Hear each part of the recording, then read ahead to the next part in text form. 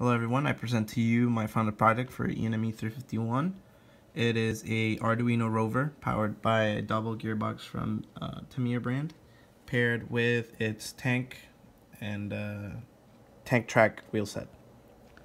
It is connected to my Arduino and an Arduino I would have to um, also uh, connect a motor shield so it'd make it easier to connect both of my motors through here. This is my power source connect, coming from the battery pack. This powers just the DC motors. Now, this up here, this is an ultrasonic distance sensor, and this is a Arduino ArduCam Mini. The distance sensor is just reading an object that would be in front of it, and uh, according to the distance, the buzzer would beep, uh, and also the LED would light up. The Arduino ArduCam, on the other hand, um, it is just being powered by the Arduino, but actually is uh, video feed is provided by the manufacturer's um, own uh, application.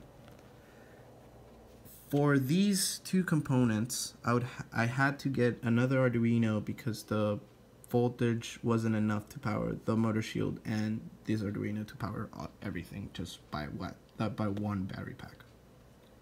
Now I'll demonstrate you how this rover works.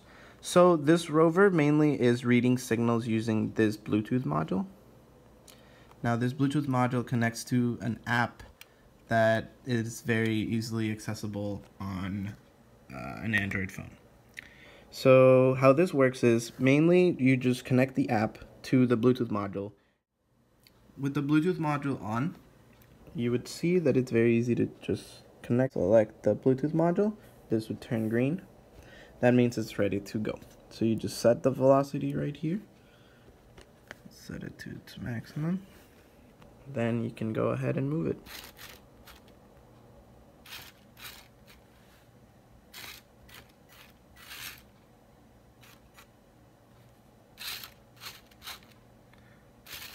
It's actually very easily uh, responsive. Uh, the rover moves. Now I'm going to show you how this is being read on processing. So my distance sensor in processing, it reads, reads the distance. So when it's greater than 30 centimeters, it's going to read out of range. And then the sound is going to keep increasing, increasing as, as I go closer and closer. And when I reach less than 5 centimeters, the LED turns red. Last but not least, I would show you how my ArduCam Mini works. So uploading the code to the Arduino and then going to the manufacturer's application, you open the COM port, you select continuous reading, and then you click capture. And as you see right there, camera is working perfectly.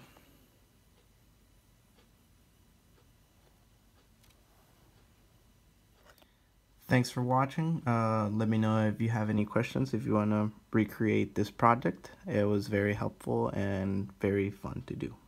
Thank you again.